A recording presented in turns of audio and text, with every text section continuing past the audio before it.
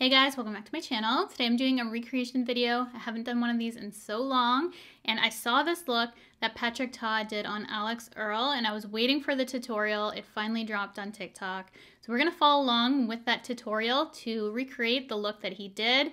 I love this makeup so, so much. I cannot wait to put it on my face. To try my best to recreate it, I thought Alix looked so beautiful in this look. We will also be using all the products he used on her for this look. So it's basically a full face of Patrick Ta, minus a couple of things that I can't use because I'm sensitive to or that aren't available yet to purchase. So it's gonna be a good one. If you really like that look, this video is for you. Or if you enjoy me recreating other artists' makeup looks, then here's another one for you as well. These are some of my favorite videos to film apart from Sephora hauls. I love doing recreations. I feel like this is what I'm good at. So I'm going to try and recreate this the best that I can on me and hopefully it looks just as good on me as it does on her because I love his style of makeup and I just I love everything about the blush, I feel like, for this look. I picked up the lipstick. I picked up a couple of products I didn't already have, so we're set and ready to go.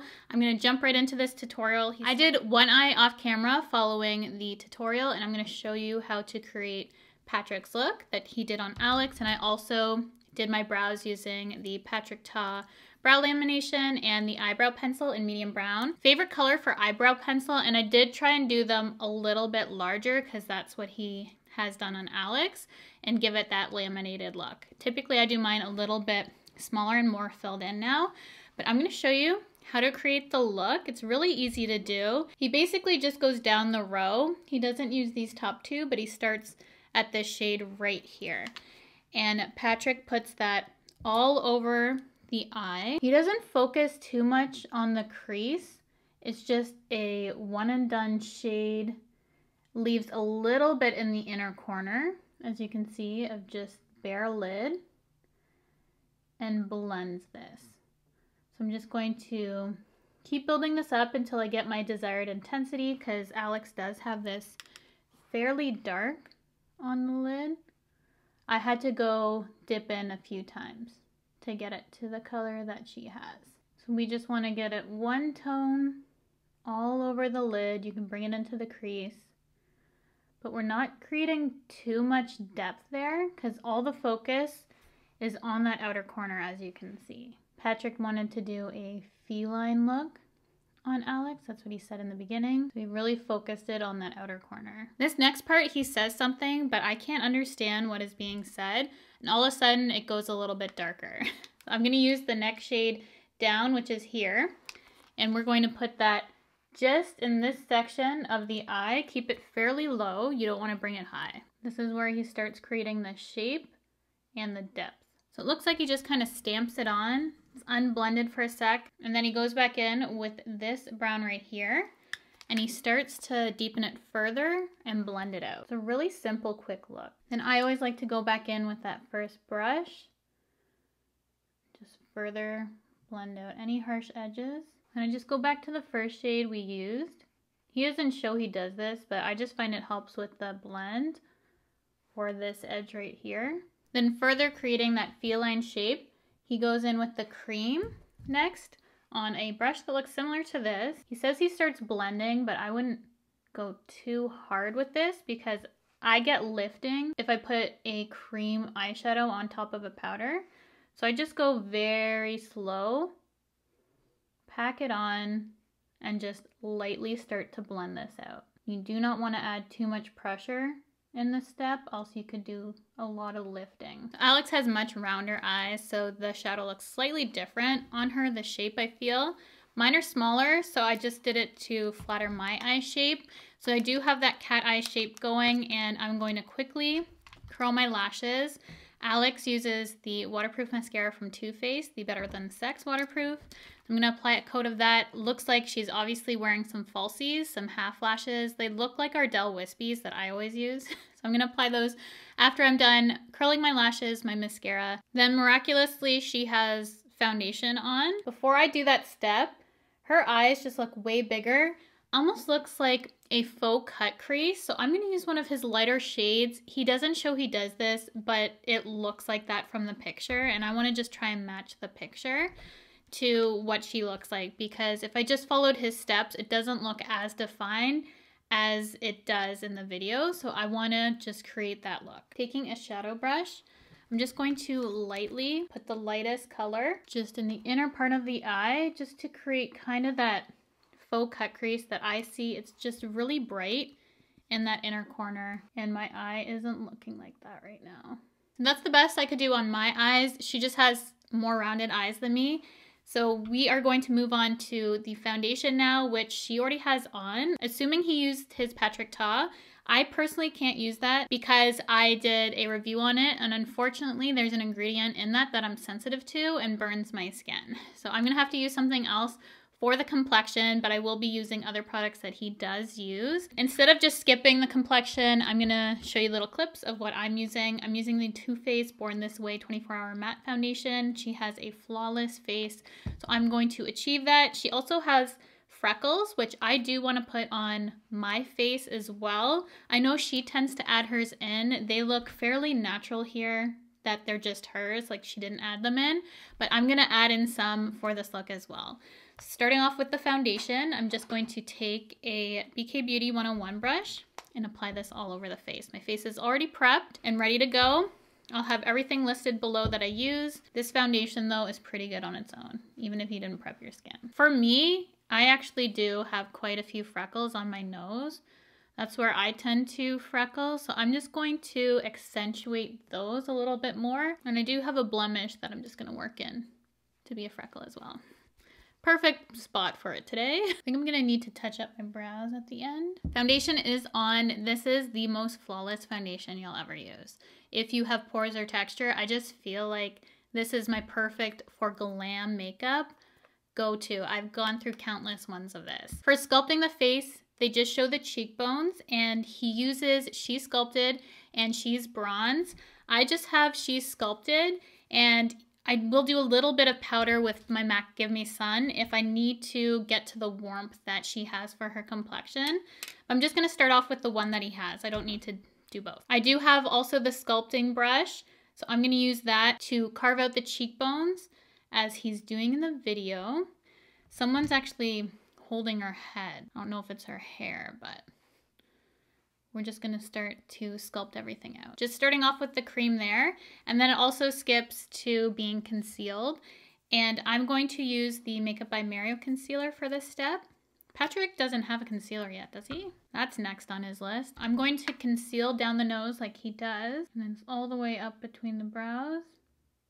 And then she has a line out under and out under here. He does eventually add more concealer. I'm just starting with the placements that he has. Maybe they were just talking and not done yet because more does appear. So this is a considerable amount of concealer than I typically use. But we're going to try the placements that he has on her. And then again, it's magically blended out. And I'm just gonna use my Makeup by Mario F1 brush and start to blend out this concealer before it dries down. Makeup by Mario is self-setting, so I gotta work fast.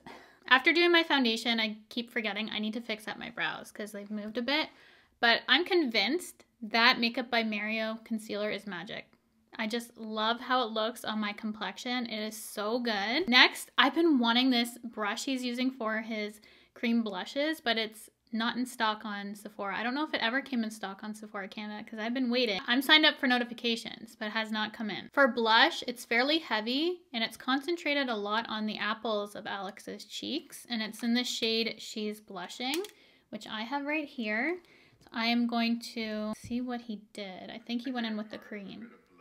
Yes, he went in with the cream. I'm just using my F1 until Sephora gets his brush in stock. And I love this color on her skin tone. Then using She's Sculpted and Patrick's contour brush, they go ahead and contour her nose. And I love this brush too. I know she comments on it, how she doesn't have it, and he gave it to her after this video. It is so good, so easy to use for contour. I love how it's shaped because you can really just easily connect it into your eye, make it for a seamless nose contour. I feel like he heavily contours at this upper section. Granted, Alix and I have different noses, but just wanted to try it out.